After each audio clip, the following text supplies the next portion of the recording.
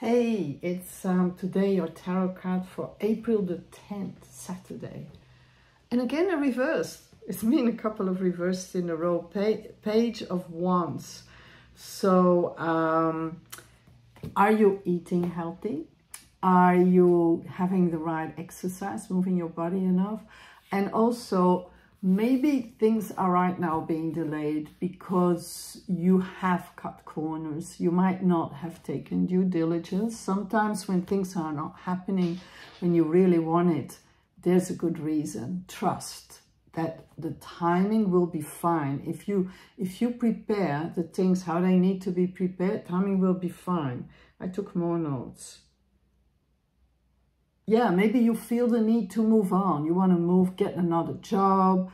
Um, if you want help with that, you can also personally message me. I help people, you know, create a new life. I've done it myself, turned 180 degrees. But even people who want to stay in the same kind of job they're doing, but just want to go and find it somewhere else.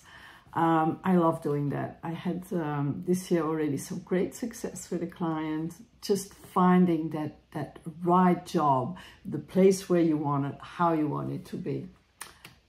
And it is easy if you use the same um, spiritual practices that I use to, to change things around. And, and it's not about cutting corners. That doesn't work.